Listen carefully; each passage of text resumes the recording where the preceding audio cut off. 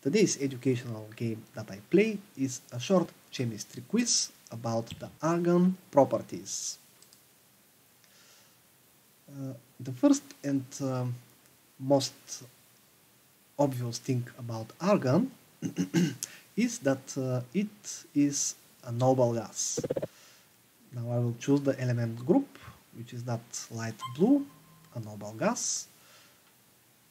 Now, if it is a noble gas, it uh, state at standard temperature and pressure should be a gas. And then I'm going to the appearance. And here I have uh, the appearance of three noble gases. Uh, this is uh, like they glow on a in specific environment.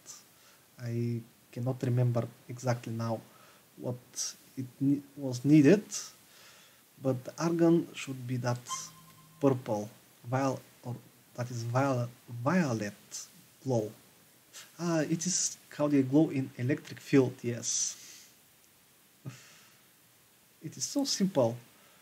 Ah, well, the chemistry is a complex science made by a lot of simple stuff. Okay, the symbol, uh, okay, that uh, will I check later, I will check later. But uh, uh symbol, okay, AG is a symbol of another element which will remain secret for now. I don't think there is a element and the argon is AR.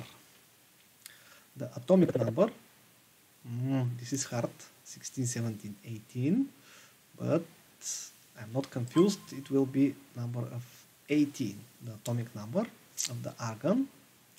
That will mean there are 18 electrons too, and because argon is the last element on the third row, it still has 3 electrons, 3 electrons per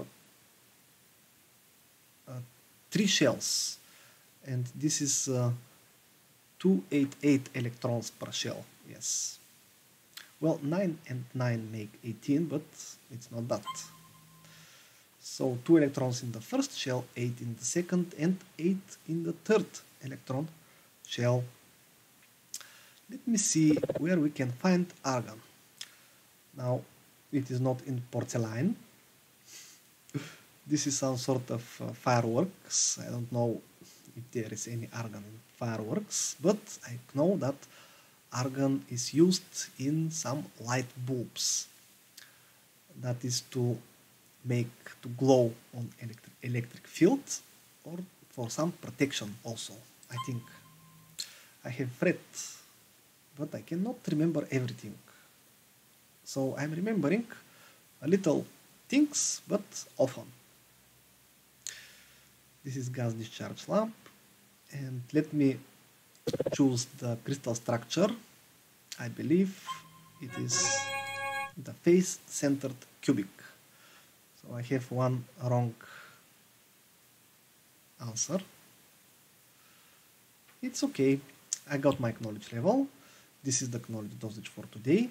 Uh, also, uh, I, for, for, I forgot again that, to mention that argon is not presenting in the human body.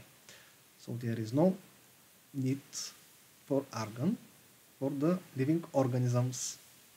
And until new meetings.